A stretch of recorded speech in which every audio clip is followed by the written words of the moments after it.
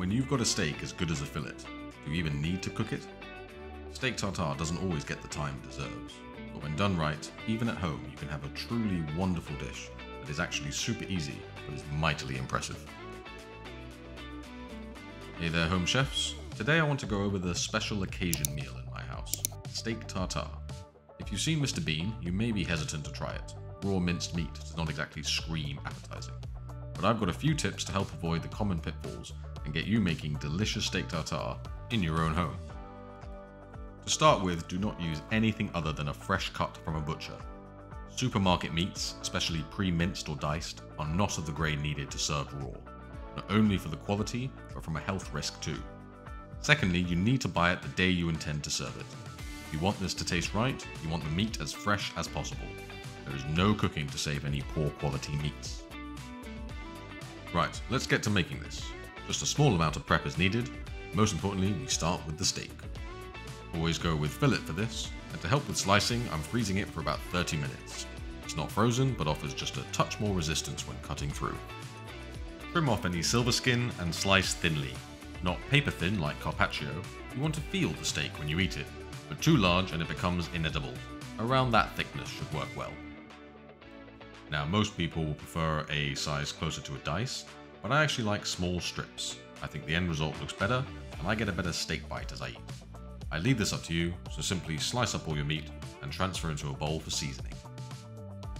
For marinating the meat, I'll add a good pinch of salt, some black pepper, a few tablespoons of soy sauce, you may prefer Worcestershire sauce for more of a kick, a dash of lemon juice for freshness, and finally the secret ingredient, pickle juice. It's salty, it's tasty, it's great. Mix that all together and you've got perfectly seasoned steak tartare. Before we get onto the accoutrement, if you're finding this video helpful, please be sure to give it a like, and remember to subscribe to be notified of future content. And back to the food.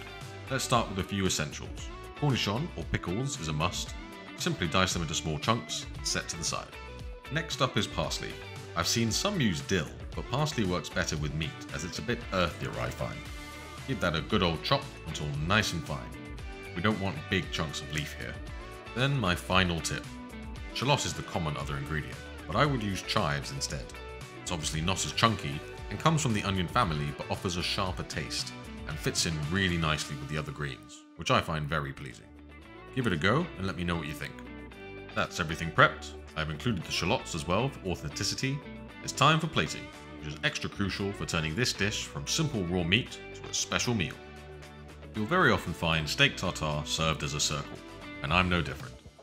Find something wide and round, and fill with enough steak so it has a nice depth to it.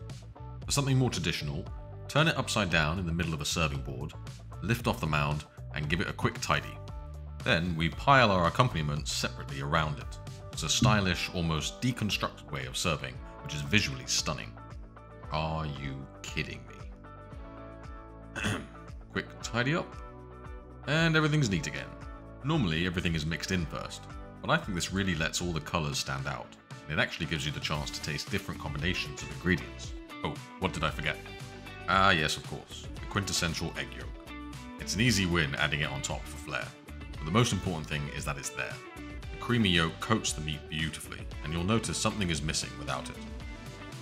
Chuck on some bread slices for effect, and you've got a gorgeous looking steak tartare that is going to absolutely wow your dinner guests. Got yellow on red on green. It's just so vibrant, colourful and rustic, and you just know it's going to be delicious too. Let's get everything incorporated and mixed together, and oh wow, let's see that again. If that doesn't get your mouth watering, I don't know what will. You get the fun element of bringing everything together, and then, once you've got a chaotic forkful, I can tell you right now after one bite, I will be cleaning this up before you can say joie de vivre.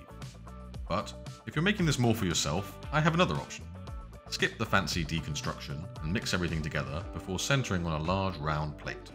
Then, although not traditional, fill the outside with french fries. If you want to know how to make them from scratch, I have a video on making fries which I'll link to in the corner.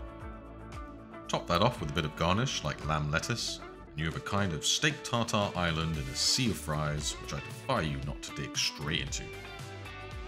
And there we have steak tartare, just as good at home as at a restaurant.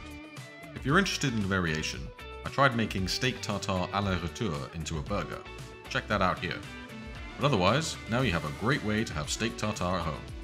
Please remember to give this video a like, drop a comment on any thoughts you have for the dish, and be sure to subscribe and check out more videos like this. Until then, get cooking, or in this case, not cooking, and may the Zen be with you.